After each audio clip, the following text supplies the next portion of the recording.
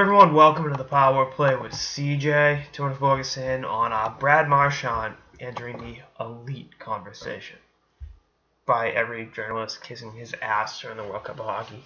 This is going to be kind of some random ramblings. I've talked, I talked about his contract yesterday, all that shit, but obviously the line of him, Crosby, and Patrice Bergeron, headlined by Sidney Crosby, has been, you know, excellent in the World Cup for Canada and you know Boston fans, and you know it's it's ridiculous that Crosby's getting all the Yankee is. Uh, Sidney Crosby proved he's still the best hockey player in the fucking world, and all due respect to Bergeron and Marchand, but I mean, you put any two wingers with Sid, and they're gonna do work. That's not to discredit what Marchand and Bergeron have done in this tournament, but don't lose sight of the fact their center is Sidney Crosby. So, you know, this talk about Marchand entering the, you know, elite category and, oh, he's one of the ready to break out. First of all, he's 28 years old.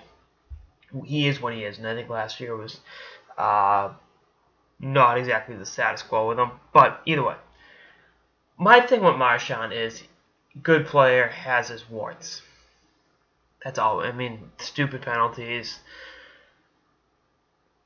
goalless streaks that sometimes get into double digit games, all that stuff. But you know, my issue with uh, all this talk is I think it takes away from how good of a player Sidney Crosby is. You know, though Bergeron and Marchand have established chemistry, you put them on a line with the best player in the world down the middle. Obviously, good things are going to happen. So don't lose sight of that, Bruins fans. But you know, is the World Cup going to be in last year's season, the contract extension? Going to be a springboard for Marchand to have, you know, a 45 goal season this year? No.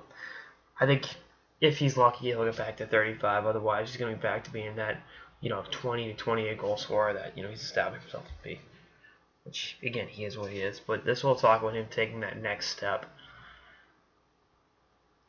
The, unless the Bruins trade for Sidney Crosby, which I would not be averse to, you know, as much as they need help on defense, I think Sidney Crosby could help the team you know, I think he, I think having Sidney Crosby would make the Bruins a better team. I don't know if that's a hot take or not, but um, you know, he, he's gonna go back to being you know the player that he is. And you know, this we'll talk about you know Bergeron's in that same stratosphere as Crosby. Give me a fucking break. Bergeron is an excellent two-way player.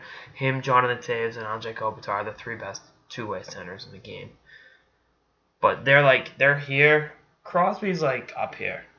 Like, and you know what? Toews is probably closer to eh, Toews is halfway between Crosby and Bergeron. Best way to describe it. And that's not to discredit any of those three players, but you know, probably go Sid, Toews, and then Bergeron and Kopitar. In my eyes, more or less the same player.